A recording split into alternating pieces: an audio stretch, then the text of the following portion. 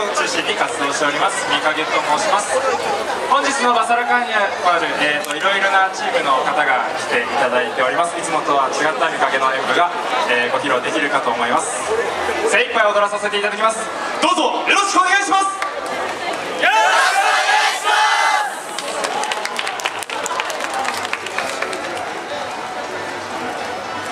ます。そう。